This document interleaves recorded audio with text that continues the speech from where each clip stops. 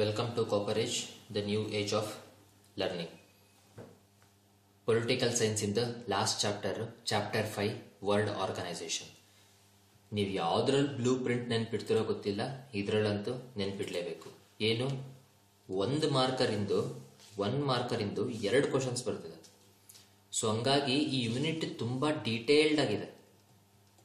Very detailed ಈ unit so ಇಂಥ ವಿಚಾರದಲ್ಲಿ ನೀವು ಒನ್ ಮಾರ್ಕರಿಂದ ಕ್ವಶನ್ ಬರಬೇಕಾದ್ರೆ ನೀವು ಸರ್ಟೆನ್ ಫ್ಯಾಕ್ಟ್ಸ್ನ ನೆನ್ಪಿಡ್ಕೊಬೇಕು ಆ್ಯಂಡ್ ಈ ಫ್ಯಾಕ್ಟ್ಸ್ನ ನೀವು ಹೆಂಗೆ ನೆನ್ಪಿಡ್ಕೊಬೇಕು ಹೌದು, ನಾನು ಸರ್ಟೆನ್ ನಿಮಗೆ ಕಾಪರ್ ಕೋಡ್ಸ್ ಕೊಡ್ತೀನಿ. ಈ ಕೋಡ್ಸ್ನ ನಾನು ನಿಮಗೆ ಲಾಸ್ಟಿಗೆ ಕೊಡಲ್ಲ ಇದರಲ್ಲಿ. ಅದನ್ನು ಹೇಳ್ತಾ ಹೇಳ್ತಾನೆ ನಾನು ನಿಮಗೆ ಹೆಂಗೆ ನೆನ್ಪಿಡಬೇಕು ಅಂತ ಹೇಳ್ತೀನಿ ಬಿಕಾಸ್ ನೀವು ಅಲ್ಲಿಂದಲ್ಲೇ ಅದನ್ನು ನೋಡಿ ಕಲಿಯೋದು ಇಂಪಾರ್ಟೆಂಟ್ ಸೊ ಸರ್ಟೆನ್ ಥಿಂಗ್ಸನ್ನು ನೀವು ಬೈ ಹಾರ್ಟ್ ಮಾಡಿಬಿಡ್ಬೇಕು ಸೊ ಈ ಯೂನಿಟಲ್ಲಿ ಮೇಯ್ನ್ಲಿ ಯುನೈಟೆಡ್ ನೇಷನ್ ಆರ್ಗನೈಸೇಷನ್ ಬಗ್ಗೆ ನಾವು ಓದೋದು. ಅಂದರೆ ಯುನೈಟೆಡ್ ನೇಷನ್ ಆರ್ಗನೈಸೇಷನ್ ಹಿಂಗೆ ಎಸ್ಟಾಬ್ಲಿಷ್ ಆಯಿತು. ಇದರ ಆಬ್ಜೆಕ್ಟಿವ್ಸ್ ಏನು ಆರ್ಗನ್ಸ್ ಏನು ಏನು ಅಚೀವ್ಮೆಂಟ್ ಮಾಡ್ತು, ಏನೇನು ಏಜೆನ್ಸಿಗಳಿದೆ ಅನ್ನೋದ್ರ ಬಗ್ಗೆ ನಾವು ಯೂನಿಟ್ ನೋಡೋದು. ಯುನೈಟೆಡ್ ನೇಷನ್ ಆರ್ಗನೈಸೇಷನ್ ನಾವು ನೋಡಿದಂಗೆ ವರ್ಲ್ಡ್ ವಾರ್ ಒನ್ ಮುಗಿದಾಗ ಲೀಗ್ ಆಫ್ ನೇಷನ್ಸ್ ಅಂತ ಬಂತು. ಈ League of Nations world war two ತಡೆಯೋದಕ್ಕೆ ಇದ್ರ ಕೈಯಲ್ಲಿ ಆಗಲಿಲ್ಲ. ಸೊ ಹಂಗಾಗಿ world war two ಮುಗಿದಾಗ Winston Churchill of England Joseph Stalin Franklin D Roosevelt of America ಇವರೆಲ್ಲ ಸೇರ್ಕೊಂಡು ಯುನೈಟೆಡ್ ನೇಷನ್ ಅಂತ ಮೇನ್ಲಿ ಮಾಡಿದ್ರು. ಈ ಟರ್ಮನ್ನ ಯಾರು ಕೊಟ್ಟರು ಒನ್ ಮಾರ್ಕ್ ಯಾರು ಕೊಟ್ಟರು ಈ ಟರ್ಮನ್ನ ಅಂದ್ರೆ ಫ್ರಾಂಕ್ಲಿನ್ ಡಿ ರೂಸವೆಲ್ಟ್ ಕೊಟ್ಟಿದ್ದು. ಐವತ್ತು ದೇಶ ಪಾರ್ಟಿಸಿಪೇಟ್ ಮಾಡಿತು ಸ್ಟಾರ್ಟಿಂಗು ಎಲ್ಲಿ ನಡೀತಿದ್ದು conference once again one marker San Francisco conference ನಡೆದಿದ್ದು. ಇದನ್ನ ಸೈನ್ ಮಾಡಿದ್ದು ಜೂನ್ನಲ್ಲಿ, ಜೂನ್ ನೈನ್ಟೀನ್ ಫೋರ್ಟಿ ಫೈವ್ ಅಲ್ಲಿ ಆದರೆ ಇದು ಎಕ್ಸಿಸ್ಟೆನ್ಸ್ ಬಂದಿದ್ದು ಅಕ್ಟೋಬರ್ ನೈನ್ಟೀನ್ ಫಾರ್ಟಿ ಫೈವ್ ಅಲ್ಲಿ ಅದನ್ನ ನೆನಪಿರ್ಲಿ, ಇವತ್ತಿಗೆ ನೂರ ತೊಂಬತ್ಮೂರು ಮೆಂಬರ್ ಇದೆ. ಇದರದ್ದು ಹೆಡ್ ಕ್ವಾರ್ಟರ್ಸ್ ನ್ಯೂಯಾರ್ಕ್ ಸಿಟಿ ಇವೆಲ್ಲ ನಾನು ಬ್ಲೂ ಅಲ್ಲಿ ಏನು ಮಾರ್ಕ್ ಮಾಡಿದ್ದೀನಿ ಯೂನಿಟ್ನಲ್ಲಿ ಎಲ್ಲ ಒಂದೊಂದು ಮಾರ್ಕರ್ ಇಂದು. ಇದನ್ನ ನೀವು ನೆನ್ಪಿಡಬೇಕು. Next aims and objectives of United Nation organisation United Nation organisation ಇಂದ ಏಮ್ಸ್ ಅಂಡ್ ಆಬ್ಜೆಕ್ಟಿವ್ ಏನು? ವರ್ಲ್ಡ್ ವಾರ್ ಟೂ ಆದ್ಮೇಲೆ ಬಂದಂಥದ್ದು ಪೀಸ್ ಮೇಂಟೈನ್ ಮಾಡಬೇಕು ಸೆಕ್ಯೂರಿಟಿ ಪ್ರೊವೈಡ್ ಮಾಡಬೇಕಂತಾನೆ ಸ್ಟಾರ್ಟ್ ಆಗಿದ್ದು. ಎಲ್ಲ ದೇಶಗಳ ಮಧ್ಯದಲ್ಲಿ ಫ್ರೆಂಡ್ಲಿ ರಿಲೇಶನ್ಶಿಪ್ ಮೇಂಟೈನ್ ಮಾಡಬೇಕು. ಹ್ಯೂಮನ್ ರೈಟ್ಸನ್ನ ಎತ್ತಿಡಿಬೇಕು. ಇಂಟರ್ನ್ಯಾಷನಲ್ ಪ್ರಾಬ್ಲಮ್ಗಳನ್ನು ಕಮ್ಮಿ ಮಾಡಬೇಕು. ಜಸ್ಟಿಸ್ ನ್ಯಾಯ ರೆಸ್ಪೆಕ್ಟ್ ಪ್ರೊವೈಡ್ ಮಾಡಬೇಕು. ಎಲ್ಲ ದೇಶಗಳನ್ನ ಆಕ್ಷನ್ನ ಆರ್ಗನೈಸ್ ಮಾಡಿ ವಿಶ್ವ ವಿಶ್ವಕ್ಕೆ ಒಳ್ಳೆಯದಾಗೋ ಥರ ಮಾಡಬೇಕು. ಇದು aims and objectives of the United Nation organisation. So, United Nation organisation ಅಲ್ಲಿ ಎಷ್ಟು ಅಂಗಗಳಿದೆ, ಆರ್ಗನ್ಸ್ ಇದೆ? ಅಂದ್ರೆ ಸಿಕ್ಸ್ ಮೇನ್ ಆರ್ಗನ್ಸ್ ಇದೆ. ಯಾವ್ಯಾವು? General assembly, security council, economic and social council trusteeship council, international court of justice, secretariat. ಇದೆಲ್ಲದ್ರ ಬಗ್ಗೆ ನಾವು ನೋಡ್ತಾ ಬರಬೇಕು. ಒನ್ ಒನ್ ಮಾರ್ಕರ್ ಬರಬಹುದು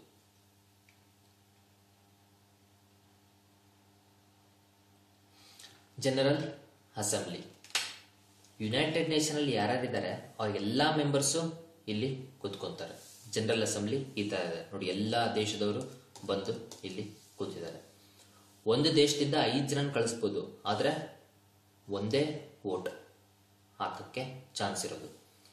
ಸೊ ಇದರಲ್ಲಿ ಪ್ರೆಸಿಡೆಂಟಿಂದ ಎಲೆಕ್ಷನ್ ಮಾಡ್ತಾರೆ. ಆ ಪ್ರೆಸಿಡೆಂಟ್ ಒಂದು ವರ್ಷ ಅವನು ಪ್ರೆಸಿಡೆಂಟ್ ಆಗಿ ಇರ್ತಾನೆ. ಏನೇ ಡಿಸಿಷನ್ ಆಗ್ಬೇಕಂದ್ರು ಟೂ ಬೈ ತ್ರೀ ಮೆಜಾರಿಟಿ ಆಗಬೇಕು. ಅಂದರೆ ಮೂವತ್ತು ಜನ ಇದ್ರೆ ಅದರಲ್ಲಿ ನಮಗೆ ಇಪ್ಪತ್ತು ಜನ ಒಪ್ಕೊಬೇಕು. ಟೂ ಬೈ ತರ್ಡ್ ಒಪ್ಕೊಳ್ಳೇಬೇಕು, ಯಾವುದೇ ಡಿಸಿಷನ್ ಆಗಬೇಕಾದ್ರೆ. ನೆಕ್ಸ್ಟು ಎಮರ್ಜೆನ್ಸಿ ಸಿಚುವೇಶನಲ್ಲಿ ಇವರು ಅರ್ಜೆಂಟ್ ಇಶ್ಯೂಸಿಗೆ ಡಿಸ್ಕಷನ್ ಮಾಡೋದಕ್ಕೆ ಕರಿಬೋದು.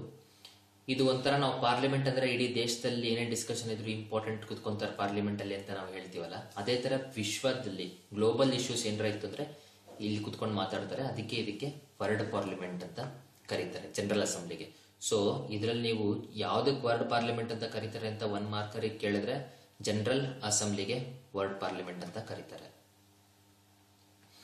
Next security council security council ಈ ತರ ಇದೆ. ನೋಡಿ, ಅಷ್ಟು ಜಾಸ್ತಿ ಜನ ಇಲ್ಲ ಅಲ್ಲಿ. ಕಮ್ಮಿ ಇದ್ದಾರೆ ಅಂದ್ರೆ ಎಲ್ಲ ಸೇರಿ ಸೆಕ್ಯೂರಿಟಿ ಕೌನ್ಸಿಲ್ ಅಲ್ಲಿ ಹದಿನೈದು ಜನ ಇರ್ತಾರೆ. Most powerful organ of the United Nations ಯಾವುದು ಅಂದ್ರೆ ಸೆಕ್ಯೂರಿಟಿ ಕೌನ್ಸಿಲ್ ಇದರಲ್ಲಿ ನಮಗೆ ಸೆಕೆಂಡ್ ವರ್ಲ್ಡ್ ವಾರ್ ಟೂ ಆದಾಗ ಯಾವ ದೇಶಗಳು ಗೆಲ್ತಲ್ಲ, ಆ ದೇಶಗಳನ್ನ permanent members of the security council ಅಂತ ಮಾಡಿದ್ದಾರೆ. ಅದನ್ನ ನಮಗೆ ನೆನಪಿದೆ ಪಿ ಆರ್ ಎಫ್ ಅಂತೂ ಇತ್ತು. That is Britain Russia France ಇದ್ರ ಜೊತೆ ಏಷ್ಯಾದಲ್ಲಿ China next U S A ಇದು ನಮಗೆ ಪರ್ಮನೆಂಟ್ ಮೆಂಬರ್ಸ್ ಆಯಿತು. ಇನ್ನು ಮಿಕ್ಕಿದ ಹತ್ತು ಜನ ನಾನ್ ಪರ್ಮನೆಂಟ್ ಮೆಂಬರ್ಸ್ ಅಂತ ಸೆಲೆಕ್ಟ್ ಮಾಡ್ತಾರೆ. ಪ್ರತಿ ಟೂ ಇಯರ್ಸ್ಗೆ ಸೆಲೆಕ್ಟ್ ಮಾಡ್ತಾರೆ. ಸೊ ಅಂದ್ರೆ ನೀವು ಕಾಪರ್ ಕೋರ್ಸ್ನ ಏನ್ ನೆನ್ಪಿಡ್ಬೋದು? ಹದಿನೈದು ಜನ ಇದ್ದಾರ ಅದರಲ್ಲಿ ಐದು ಜನ ನಿಮಗೆ ಪರ್ಮನೆಂಟಾ multiply by two is equal to ten ಅಂದ್ರೆ ಮಿಕ್ಕಿದ ಹತ್ತು ಜನ ಎರಡು ವರ್ಷಕ್ಕೆ ಎಲೆಕ್ಟ್ ಆಗ್ತಾರೆ. ಇದನ್ನ ನೆನ್ಪಿಟ್ಕೊಳ್ಳಿ once again each member has one vote so any decision ಇದೆ ಅಂದ್ರೆ ಎಲ್ಲ ಮೆಂಬರ್ಸ್ ಇಂದು ಸಪೋರ್ಟ್ ಬೇಕು. ಪರ್ಮನೆಂಟ್ ಮೆಂಬರ್ಶಿಪ್ಗೆ ಇಂಡಿಯಾ ಕೂಡ ಕಾತ್ರದಿಂದ ಕಾಯ್ತಾ ಇದೆ. ಅನಂತರ ಇವ್ರು ಏನ್ ಮಾಡ್ತಾರೆ ಎಲ್ಲ ಕುತ್ಕೊಂಡು ಪೀಸ್ಫುಲ್ ಮೀನ್ಸ್ನಲ್ಲಿ ಏನಾದ್ರೂ ವಿಶ್ವದಲ್ಲಿ ಗಲಾಟೆ ನಡೀತಿದ್ರೆ ಅದನ್ನ ಸಾಲ್ವ್ ಮಾಡಬೇಕು ಅಂತ ಟ್ರೈ ಮಾಡ್ತಾರೆ. ಆದ್ರೆ ಕೆಲವೊಮ್ಮೆ ಈ ಟೆರರ್ ಆರ್ಗನೈಸೇಷನ್ಸ್ ಇವೆಲ್ಲ ವಾಯ್ಲೆನ್ಸ್ ಹಿಡ್ಕೊಂಡು ಇವರು ಗಲಾಟೆ ಮಾಡ್ತಿರ್ತಾರೆ. ಇಂಥ ಸಮಯದಲ್ಲಿ ಪೀಸ್ ಕೀಪಿಂಗ್ ಫೋರ್ಸ್ ಅಂತ ಅಂದ್ಬಿಟ್ಟು ಇವರು ಕಳಿಸ್ತಾರೆ. ಅಂದ್ರೆ ಈ ಪೀಸ್ ಕೀಪಿಂಗ್ ಫೋರ್ಸು ಜನಗಳ ಮೇಲೆ ಇವರು ಬಂದೂಕು ಯೂಸ್ ಮಾಡಲ್ಲ. ಅಥವಾ ಇವರು ಬುಲೆಟ್ನ ಆರ್ಮ್ಸ್ನ ಯೂಸ್ ಮಾಡಲ್ಲ. ಇವರು ಏನ್ ಟೆರರ್ ಆರ್ಗನೈಸೇಷನ್ ಇರ್ತಾರೆ, ಯಾರು ಅವ್ರು ಫಸ್ಟ್ ಯೂಸ್ ಮಾಡಿದ್ರೆ ಆರ್ಮ್ಸ್ನ ಅವ್ರ ಅಗೇನೆಸ್ಟ್ ಇವರು ಯೂಸ್ ಮಾಡ್ತಾರೆ. ಅದಕ್ಕೆ ಇದಕ್ಕೆ ಹೆಸರು ಪೀಸ್ ಕೀಪಿಂಗ್ ಫೋರ್ಸ್ ಅಂತ. ಸೊ ಈ security council international court of justice ಇದಕ್ಕೆಲ್ಲ ಜಡ್ಜಸ್ ಗಳನ್ನ ಎಲೆಕ್ಟ್ ಮಾಡೋದು. The powerful organ of the United Nations next the economic and Social council economic and social council ಇಲ್ಲಿ ನೋಡಿ, ಇದರಲ್ಲಿ ಇ ಎಕನಾಮಿಕ್ ಇದು ನೀವು ಉಲ್ಟಾ ಮಾಡಿದ್ರೆ that is three so three years ಟರ್ಮಿಗೆ ಇದು ಸೆಲೆಕ್ಟ್ ಮಾಡೋದು. ಸೊ ತ್ರೀ ಟೇಬಲಲ್ಲೇ ನಿಮಗೆ ಬರುತ್ತೆ three five ಝ fifteen three into six ಝ eighteen there four eighteen members ಇದರಲ್ಲಿ ಸೆಲೆಕ್ಟ್ ಆಗ್ತಾರೆ. ಅದಾದ್ಮೇಲೆ ನೆಕ್ಸ್ಟ್ ನೀವು ತ್ರೀ ಫೋರ್ ಫೈವ್ ಅಂತ ನೆನ್ಪಿಡ್ಬೋದು. ತ್ರೀ ಇಯರ್ಸ್ ಟರ್ಮು ಆಮೇಲೆ ಫೋರ್ ಫೈವ್ ಇದನ್ನ ಉಲ್ಟಾ ಬರೀರಿ fifty four so fifty four members elect ಮಾಡ್ತಾರೆ. ನೆಕ್ಸ್ಟ್ ಇದು ಫಂಕ್ಷನ್ಗಳೇನು so international economic socio cultural education health related ಬಗ್ಗೆ ಇವರು ಡಿಸ್ಕಷನ್ ಮಾಡ್ತಾರೆ. ವುಮೆನ್ ಸ್ಟೇಟಸ್ ಬಗ್ಗೆ ಹೌಸಿಂಗ್ ಎಕ್ಸೆಟ್ರಾ ಇದ್ರ ಬಗ್ಗೆ ಎಲ್ಲ ಇವರು ಮಾತಾಡ್ತಾರೆ. ಹ್ಯೂಮನ್ ರೈಟ್ಸ್ ಎಲ್ಲಾದ್ರೂ ಹಾಳಾಗ್ತಿದ್ಯಾ? Fundamental freedom ಹಾಳಾಗ್ತಿದ್ಯಾ? ಅದ್ರ ಬಗ್ಗೆ ಗಮನ ಹರಿಸ್ತಾ ಇರುತ್ತೆ ಹ್ಯೂಮನ್ ರೈಟ್ಸ್ ಎಲ್ಲರೂ ಹಾಳಾಗಿದ್ರೆ ಅದನ್ನ ಪ್ರಮೋಟ್ ಮಾಡೋದಕ್ಕೋಸ್ಕರ ಇಂಟರ್ನ್ಯಾಷನಲ್ ಕಾನ್ಫರೆನ್ಸ್ಗಳನ್ನ ಇದು ಆರ್ಗನೈಸ್ ಮಾಡುತ್ತೆ. ಇದು ಆಲ್ಸೋ ಸ್ಪೆಷಲ್ ಏಜೆನ್ಸೀಸ್ ಇದೆ. ಅದ್ರ ಜೊತೆ ಇದು ಕೋಆರ್ಡಿನೇಟ್ ಮಾಡುತ್ತೆ. ಸ್ಪೆಷಲ್ ಏಜೆನ್ಸೀಸ್ ಯಾವುದು ಅಂತ ನಮಗೆ ನೆಕ್ಸ್ಟ್ ಬರುತ್ತೆ. ಅದ್ರ ಬಗ್ಗೆ ನಮಗೆ ಗೊತ್ತಾಗುತ್ತೆ. ನೆಕ್ಸ್ಟ್ ನೋಡೋಣ. Next trusteeship council trusteeship council ಅಂದ್ರೆ ಇದು ಕೆಲವು ದೇಶ ಅಂದ್ರೆ ಅವು ದೇಶಗಳಲ್ಲ. ದೇಶಗಳಲ್ಲ. ಫಾರ್ ಎಕ್ಸಾಂಪಲ್ ನಮಗೆ ಪ್ಯಾಲೆಸ್ಟೈನ್ ಅನ್ನೋದು ಇನ್ನ ಪೂರ್ತಿ ದೇಶ ಅಥವಾ ಸ್ಟೇಟಸ್ ಸಿಕ್ಕಿಲ್ಲ. ಇದಿನ್ನೂ ದೇಶದ ಸ್ಟೇಟಸ್ ಸಿಗಕ್ಕೆ ಹೊಡೆದಾಡುತ್ತಿದೆ. ಇಂಥ ಸ್ಮಾಲ್ ಸ್ಮಾಲ್ ಟೆರಿಟರಿಗಳು ಯಾವುದಕ್ಕೆ ಸ್ಟೇಟ್ಹುಡ್ ಇಲ್ವೋ ಇಂಥದನ್ನ ಕಾಪಾಡೋದಕ್ಕೆ ಇರುವಂತದ್ದು trusteeship council next international court of justice ಇದು ಇಂಟರ್ನ್ಯಾಷನಲ್ ಕೋರ್ಟ್ ಆಫ್ ಜಸ್ಟಿಸ್ ಇಂದು ಬಿಲ್ಡಿಂಗ್ ಇದರಲ್ಲಿ ಹದಿನೈದು ಜನನ ಇವರು ಸೆಲೆಕ್ಟ್ ಮಾಡ್ತಾರೆ. ಇವ್ರ ಟರ್ಮ್ ನೋಡಿ ಒಂಬತ್ತು ವರ್ಷ. And they are eligible for the reelection ಇದನ್ನ ಮೋಸ್ಟ್ ಇಂಪಾರ್ಟೆಂಟ್ ಪಾಯಿಂಟ್ ನೀವು ನೆನ್ಪಿಡ್ಕೊಂಡಿರ್ಬೇಕು ಒನ್ ಮಾರ್ಕರಿಂದು ನಮಗೆ ಎರಡು ಕ್ವಶನ್ ಬರೋದ್ರಿಂದ ನೀವು ಇದು ಹುಷಾರಾಗಿರ್ಬೇಕು. ಇದರ ಹೆಡ್ ಕ್ವಾರ್ಟರ್ಸ್ ಎಲ್ಲಿದೆ ಹೇಗ್? ನೈದರ್ಲ್ಯಾಂಡ್ಸ್ ಅಲ್ಲಿ. ಪ್ರೆಸಿಡೆಂಟ್ ಮತ್ತೆ ವೈಸ್ ಪ್ರೆಸಿಡೆಂಟ್ ಅನ್ನ ಇವರು ಮೂರು ವರ್ಷಕ್ಕೆ ಎಲೆಕ್ಟ್ ಮಾಡ್ತಾರೆ. ನೆಕ್ಸ್ಟ್ ಮೆಜಾರಿಟಿ ಬೇಸಿಸ್ ಮೇಲೆ ಕೋರ್ಟ್ ಡಿಸಿಷನ್ ಮಾಡುವಂಥದ್ದು. ಇವರು ಏನೇ ಒಪಿನಿಯನ್ ಕೊಟ್ಟರು ಅಡ್ವೈಸರಿ ಕೊಡ್ತಾರೆ. ಇದನ್ನ ಫಾಲೋ ಮಾಡಲೇಬೇಕು ಅಂತ ಇಲ್ಲ, ಆದರೆ ವಿಶ್ವದಲ್ಲಿ ಇರುವಂತ ದೇಶಗಳು ಇದನ್ನ ಫಾಲೋ ಮಾಡುತ್ತೆ. ಇಷ್ಟೆಲ್ಲ ಅದಕ್ಕೆ ಲಿಮಿಟೇಷನ್ಸ್ ಇದ್ರೂ ಕೂಡ ಇದು ಎಷ್ಟೋ ವಿಚಾರಗಳಲ್ಲಿ ಪೀಸ್ ಮತ್ತೆ ಸೆಕ್ಯೂರಿಟಿನ ಎತ್ತಿ ಹಿಡಿದಿದೆ. ನೆಕ್ಸ್ಟ್ ಸೆಕ್ರೆಟೇರಿಯೇಟ್ ಸೆಕ್ರೆಟೇರಿಯೇಟ್ ಅಂದ್ರೆ ಸೆಕ್ರೆಟರಿ ಜನರಲ್ ಮತ್ತೆ ಸ್ಟಾಫ್ ಕೂರ್ತಾರಲ್ಲ ಬಿಲ್ಡಿಂಗ್ ಅದು ಸೆಕ್ರೆಟೇರಿಯೇಟ್ ಯುನೈಟೆಡ್ ನೇಷನ್ಸ್ ಇಂದು. ಸೊ ಇಲ್ಲೇ ನಮಗೆ ಜನರಲ್ ದಟ್ ಈಸ್ ಯಾರು? ಸೆಕ್ರೆಟರಿ ಜನರಲ್ ಅಂತ ಅಡ್ಮಿನಿಸ್ಟ್ರೇಟಿವ್ ಆಫೀಸರ್ನ ಎಲೆಕ್ಟ್ ಮಾಡ್ತಾರೆ. ಅವ್ರನ್ನ ಜನರಲ್ ಅಸೆಂಬ್ಲಿ ಜನರಲ್ ಅಸೆಂಬ್ಲಿ ಅಂದ್ರೆ ಎಲ್ಲರೂ ಕೂತಿದ್ರಲ್ಲ ದೊಡ್ಡ ಬಿಲ್ಡಿಂಗ್ ಎಲ್ಲಾ ಮೆಂಬರ್ಸು ಅವ್ರು ಸೆಲೆಕ್ಟ್ ಮಾಡೋದು. On the recommendation of the security council security council ಅಂದ್ರೆ ನಾವು ದಿ ಪವರ್ಫುಲ್ ಆರ್ಗನ್ ಅಂತ ಹೇಳಿದ್ವಲ್ಲ, ಇದ್ರ ಬೇಸಿಸ್ ಮೇಲೆ ಇವರು ಫೈವ್ ಇಯರ್ ಟರ್ಮಿಗೆ ಸೆಕ್ರೆಟರಿ ಅಡ್ಮಿನಿಸ್ಟ್ರೇಟಿವ್ ಆಫೀಸರ್ನ ಸೆಲೆಕ್ಟ್ ಮಾಡ್ತಾರೆ. ಇವ್ರದ್ದು ಹೆಡ್ ಕ್ವಾರ್ಟರ್ಸು ನ್ಯೂಯಾರ್ಕ್ ಅಲ್ಲಿದೆ. ಅದ್ರ ಜೊತೆಗೆ ಹೆಡ್ ಕ್ವಾರ್ಟರ್ ಜೊತೆಗೆ ಬ್ರಾಂಚ್ಗಳು ಇದರಲ್ಲಿ ಜೆನೀವಾ ವಿಯನಾ ನೈರೋಬಿ ಈ ದೇಶಗಳಲ್ಲಿ ಇದೆ, ಈ ಪ್ಲೇಸ್ಗಳಲ್ಲಿ ಇದನ್ನ ಹೆಂಗ್ ನೆನ್ಪಿಡ್ಬೇಕು? ನ್ಯೂಯಾರ್ಕ್ ಅಂತ ನಿಮಗೆ ನೆನಪಿದೆ? ಜೆನೇವಾ ಲಾಸ್ಟಿಗೆ ಬಟ್ ಒನ್ ಟರ್ಮ್ ಇರೋದು ಯಾವುದು? ವಿ ಸೊ ವಿಯನ್ನ ಲಾಸ್ಟ್ ಕಿಂತ ಮುಂಚೆ ಟರ್ಮ್ ಇರೋದು ಎನ್ ನೈರೋಬಿ ಸೊ ಈ ರೀತಿ ನೆನ್ಪಿಡಿ day to day administrative planning ಎಲ್ಲದು ನಮಗೆ ಇದರಲ್ಲಿ ಹೆಲ್ಪ್ ಆಗುತ್ತೆ. Next achievements of the United Nation ಎಷ್ಟೊಂದು ಅಚೀವ್ಮೆಂಟ್ ಮಾಡಿದೆ. ಪೀಸ್ ಕೀಪಿಂಗ್ ಆಪರೇಷನ್ಸ್ ಇದ್ದಾಗ ಎಷ್ಟೊಂದು ಅಚೀವ್ಮೆಂಟ್ ಮಾಡಿದೆ. ಇವೆಲ್ಲ ಅಚೀವ್ಮೆಂಟ್ಸ್ ಈ ಗಲಾಟೆಗಳಲ್ಲೆಲ್ಲ ಇವರು ಹೆಲ್ಪ್ ಮಾಡಿದ್ದಾರೆ. ಒಂದ್ ಎರಡು ಮೂರು ನೀವು ನೆನ್ಪಿಡ್ಬೋದು. ಸ್ವಿಸ್ ಕೆನಾಲ್ ಇರ್ಬೋದು ಇರಾನ್ ವಿಚಾರ ಇರ್ಬೋದು, ಕಾಶ್ಮೀರ್ ವಿಚಾರ ಇರ್ಬೋದು, ಈ ತರ ಎಷ್ಟೋ ವಿಚಾರಗಳಲ್ಲಿ ಪೀಸ್ ಕೀಪಿಂಗ್ ಫೋರ್ಸ್ ಹೆಲ್ಪ್ ಮಾಡಿದೆ. ಎಕನಾಮಿಕ್ ಮತ್ತೆ ಫೈನಾನ್ಷಿಯಲ್ ಅಚೀವ್ಮೆಂಟ್ ಅಲ್ಲಿ ಏನ್ ಮಾಡಿದೆ?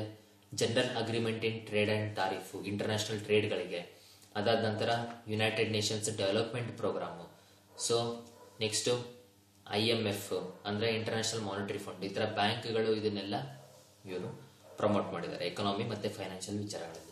ಸೋಷಿಯಲ್ ವಿಚಾರಗಳಲ್ಲೇನು? ವರ್ಲ್ಡ್ ಹೆಲ್ತ್ ಆರ್ಗನೈಸೇಷನ್ ಯುನೆಸ್ಕೋ, ಅಂದ್ರೆ ಯುನೈಟೆಡ್ ನೇಷನ್ಸ್, ನಮಗೆ education and cultural organisation, UNICEF, that is United Nation international children emergency fund, United Nation human rights, ರೆಫ್ಯೂಜಿಗಳಿಗೋಸ್ಕರ ಇದೆಲ್ಲ achievements ಮಾಡಿದೆ. ಈ ಏಜೆನ್ಸೀಸ್ ಆಫ್ ಯುನೈಟೆಡ್ ನೇಷನ್ಸ್, ಇಷ್ಟೆಲ್ಲ ಏಜೆನ್ಸಿಗಳಿದೆ. ಈ ಏಜೆನ್ಸಿಗಳನ್ನ ನಾನು ಸರ್ಟೈನ್ ಪಾಯಿಂಟ್ಸ್ ಹೇಳ್ತೀನಿ, ಇಷ್ಟನ್ನಷ್ಟೇ ನೆನ್ಪಿಡಿ. Because once again I am telling one marker ಇಂದು. ಎರಡು question ಬರುತ್ತೆ. ಸೊ ಮೋಸ್ಟ್ಲಿ ಫ್ಯಾಕ್ಟ್ಸ್ ವೈಸೇ ಬರೋದು. ಫುಲ್ ಫಾರ್ಮ್ ತಿಳ್ಕೊಳ್ಳಿ ಹೆಡ್ ಕ್ವಾರ್ಟರ್ಸ್ ಎಲ್ಲಿ ತಿಳ್ಕೊಳ್ಳಿ. ಇದು ಮೋಸ್ಟ್ ಆಫ್ ದ ಥಿಂಗ್ಸ್ ಎಲ್ಲ ಎಸ್ಟಾಬ್ಲಿಷ್ ಆಗಿರೋದು nineteen forty five nineteen forty six ಈ ಟೈಮ್ನಲ್ಲೇ ಎಸ್ಟಾಬ್ಲಿಷ್ ಆಗಿರೋದು ಸೊ ಡೇಟನ್ನ ನೆನ್ಪಿಡೋ ಅವಶ್ಯಕತೆ ಇಲ್ಲ ಅನ್ಕೊಂತೀನಿ. ನೆನ್ಪಿಟ್ರು ತುಂಬಾ ಕನ್ಫ್ಯೂಸ್ ಇರುತ್ತೆ. First F A food and agriculture organisation Rome headquarters so ಅಂದರೆ ಫಸ್ಟು ಮನುಷ್ಯ ಹುಟ್ಟಿದಾಗ ಫುಡ್ಡಿಗೋಸ್ಕರ ಅಲ್ಲಿ ಇಲ್ಲಿ ಅವನು ಅಲ್ಲಿತಿದ್ದ. ಹೌದಾ? ಅವನು ಅಲ್ದಾಡ್ತಿದ್ದ. ಸೊ ಈ ಥರ ಅಲಿಯೋದಕ್ಕೆ ಇಂಗ್ಲೀಷಲ್ಲಿ ಏನು ಟರ್ಮ್ ಹೇಳ್ತಾರೆ? ರೋಮಿಂಗ್ ಅಂತ ಹೇಳ್ತಾರೆ. ಫೋರ್ ಫುಡ್ಡಿಗೆ ರೋಮ್ ಅಂತ ನೆನ್ಪಿಡ್ಕೊಳ್ಳಿ. ವರ್ಲ್ಡ್ ಹೆಲ್ತ್ ಹೆಲ್ತ್ ನಮಗೆ ಇಂಪಾರ್ಟೆಂಟ್ ಹೆಲ್ತ್ ಅಂದ್ರೆ ಏನು? ಹೆಲ್ತ್ ಅಂದ್ರೆ ಜೀವ. ಅದಕ್ಕೋಸ್ಕರ ನೀವು ಇದು ಹೆಡ್ ಕ್ವಾರ್ಟರ್ಸ್ ಜೆನಿವಾದಲ್ಲಿದೆ ಅಂತ ನೀವು ನೆನ್ಪಿಡ್ಕೊಳ್ಳಿ. And world health organisation smallpox smallpox ಅನ್ನ ಇವರು ವಿಶ್ವದಿಂದ ಇರಾಡಿಕೇಟ್ ಮಾಡಿದ್ದಾರೆ.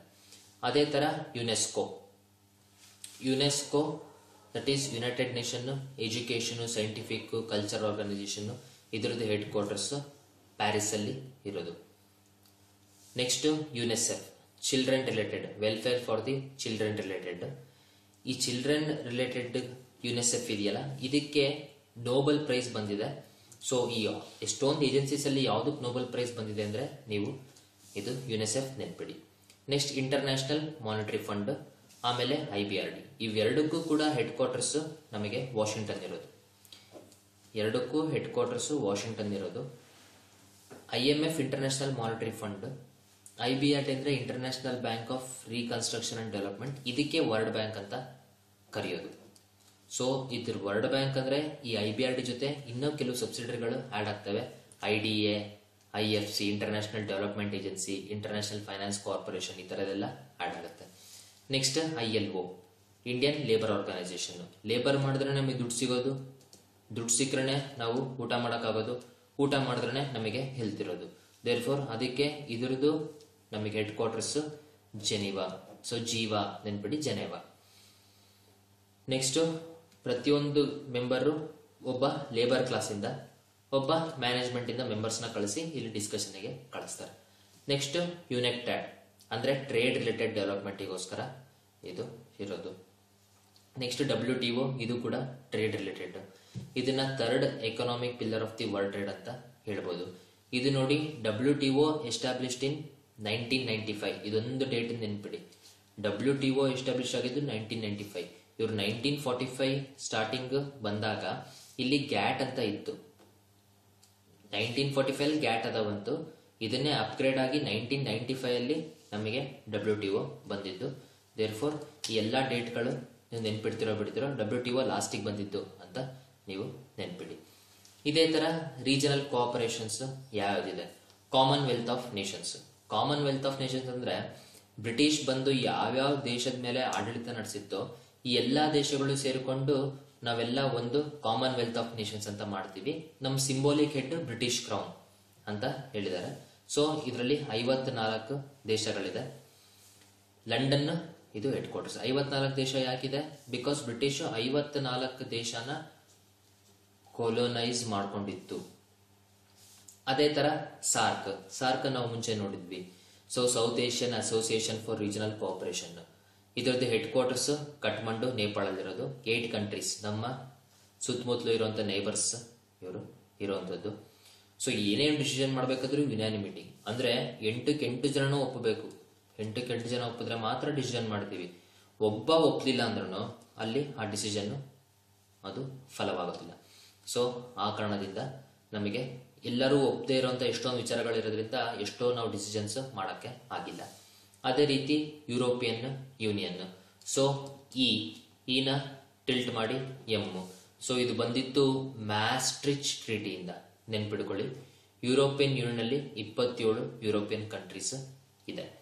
ಅದೇ ತರ ಆಸಿಯಾನ್ ಅಂದ್ರೆ association of South East Asian nations original members Singapore Malaysia Indonesia Philippines Thailand ಇದ್ದಿತ್ತು. ಬಟ್ ಇವಾಗ ಇದರಲ್ಲಿ ಎಷ್ಟೊಂದು ದೇಶಗಳು ಆಡ್ ಆಗಿ ಟೋಟಲ್ ಆಸಿಯಾನ್ ಅಂದ್ರೆ ಹತ್ತು ದೇಶಗಳು ಇದೆ. ಇದು ಮಿಲಿಟರಿ ಅಲಯನ್ಸ್ ಅಲ್ಲ. ನಾವು ಫಾರ್ ಎಕ್ಸಾಂಪಲ್ ನಾವು ಕೋಲ್ಡ್ ವಾರ್ ನಡಿಬೇಕಾದ್ರೆ ನಾವು ನೋಡಿದ್ವಿ ನ್ಯಾಟೋ ಅಂತ ಒಂದು ನೋಡಿದ್ವಿ ಹಳೆ ಯೂನಿಟ್ ಅಲ್ಲಿ. That is north Atlantic north Atlantic treaty organisation ಅಂತ. ಸೊ ಇವೆಲ್ಲ ಮಿಲಿಟರಿ ಆರ್ಗನೈಸೇಷನ್ ಇದು ASEAN military organisation military alliance ಅಲ್ಲ. Next the organisation of African unity O A U so ಆಫ್ರಿಕಾದಲ್ಲಿ ಎಲ್ಲ ದೇಶ ಅದನ್ನ ಕೊಲೊನೈಸ್ ಆಗಿತ್ತು. ಎಲ್ಲ ಯುರೋಪಿಯನ್ಸ್ ಬಂದಿದ್ರ ಮೇಲೆ ದಬ್ಬಾಳಿಕೆ ಮಾಡಿದ್ರು. ಕೊನೆಗೆ ಸೆಕೆಂಡ್ ವರ್ಲ್ಡ್ ವಾರ್ ಮುಗಿದ್ಮೇಲೆ ಎಷ್ಟೋ ದೇಶಗಳಿಗೆ ಇಂಡಿಪೆಂಡೆನ್ಸ್ ಬರ್ತಾ ಹೋಯಿತು.